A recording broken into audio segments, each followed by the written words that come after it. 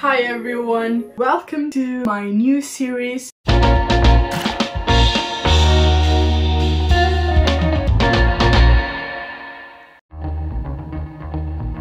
I thought I would make the most of my time to do something that I really like. So creating this podcast would give me the opportunity to keep uploading travel related content. I do have a lot of exciting things to talk about in regards to my trips. I did record everything that I've done, all my travel plans. I do have some tips saved and some recommendations that I never had a chance to share. So I think this would be a good complement to the travel vlogs that I've done for the past two years.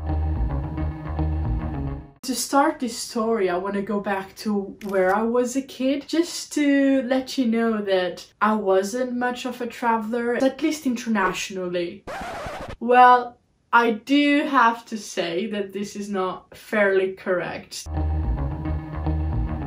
I come from a town in the southeast corner of Portugal, which is called Monte Francisco, and as you can see, I do live at the very border of my country. So my family would always go back and forth to Spain every day all the time. But why wasn't this as relevant to me as a kid? I ask myself now. I don't know. For me, this was just normal.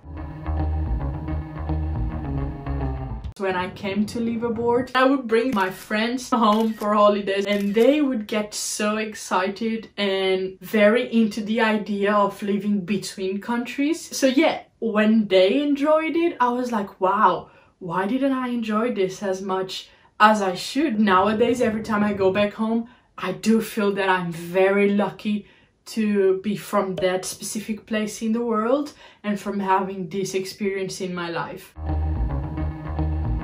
My very first trip was back in 2014 when me and some other colleagues went on a school internship to Czech Republic. My very first flight was actually from Faro to Lisbon. It had the duration of about half an hour. And then I had to wait four hours until our next flight, which would be Lisbon to Prague. When I did go to Prague, we went north to Liberec and then Prague. And when I thought I had seen it all from Czech Republic, our teachers take us to Charles Bridge. Then that was incredible because as soon as the sun goes down from one moment to the other, all the lights turn on at the same time. I've discovered a company called OkEstudante, which was helping Portuguese students to study in the UK. I immediately had the thought that, oh my god, that's what I want to do that's what I want to do. Then I got in touch with them and they helped me a lot. The experience was great.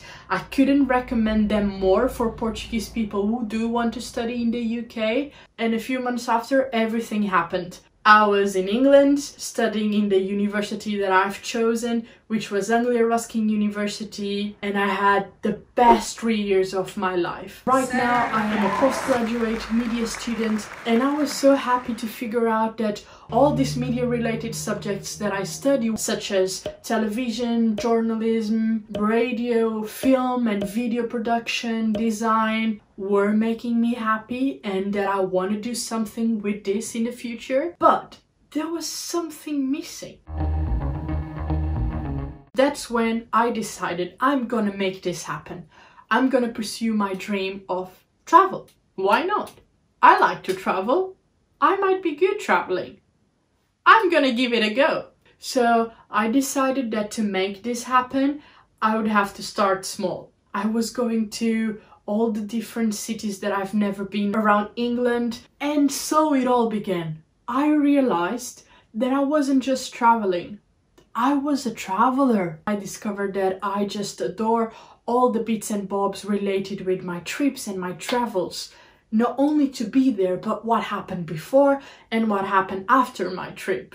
And I think all of this was great. But then when I finished the trip and I came back home, I would immediately sit in front of my laptop and I would gather all the footage that I had, edited them, create a video and then publish them on YouTube. That was when I've realized that I've started my travel vlogs project. I was feeling so comfortable traveling that I started stepping forward. Instead of traveling around England, I start visiting other countries and that's when I look back and I realize that that very first moment when I dared to travel to today, I've already accomplished to travel to eight different countries and that makes me feel so, so happy and look forward to travel even more in the future. So from my story, I think it's fair to say that everyone can become a traveler if that's what it really interests you and if that's what you're looking forward to do. Wherever it is that you want to do, it is possible and you can make it happen.